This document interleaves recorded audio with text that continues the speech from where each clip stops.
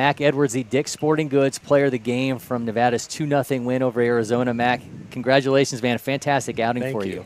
So I understand you found out 10 minutes before the game that you weren't you were supposed to come in relief. You got, end up getting the start. How did you mentally prepare yourself, uh, you know, just on the fly, having to know you're going to be the starter? Well, Brett told us before the game that like the starter who's slated to start isn't feeling great, so be ready to go whenever. So I was playing catch kinda with the catchers, like not expecting to start, but I was ready if I had to, and he told me, and then I was just ready to go. So what's the mental uh, preparedness for you then? How do you kind of just quickly say, okay, man, I got I got to go out there and get the job done? I was just ready, and then we came out hit a leadoff bomb by Ace, and then I knew I had some run support, and then I just had to do my thing.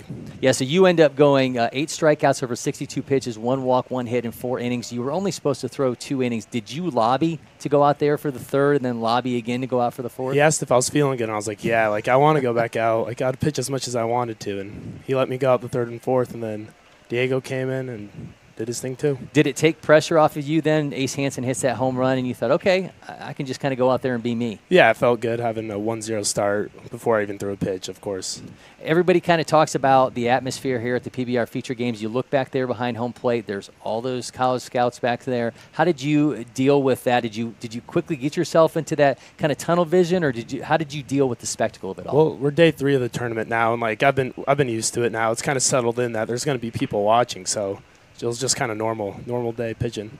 what worked so well for you out there today? I, was, I had a good command of two pitches and my curveball and my fastball, so that was good. And just keeping the hitters off timing and off balance and throwing the curveball wherever I wanted. Talk about the work of the catchers. I know this is a weird environment for them. They have to catch a whole bunch of different pitchers. They have to quickly learn some guys. What was the conversations before you guys go out there, and, and kind of how does that evolve as the game goes on?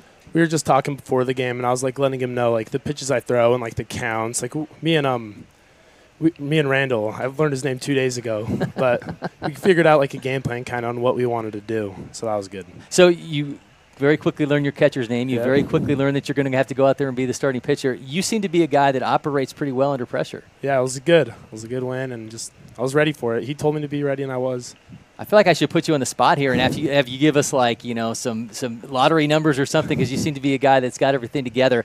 Uh, tell me about this opportunity and just kind of showcasing yourself there for the scouts when you knew you were going to have the chance to go out there. And I mean this this event has produced so many guys that have gone on and made those college commitments.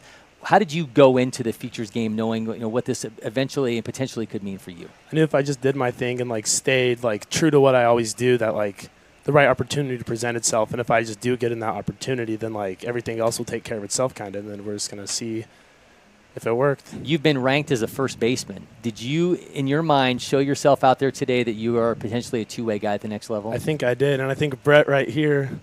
He didn't know I pitched. I wasn't supposed to pitch at all, but then two guys went down, so then I got my opportunity to pitch.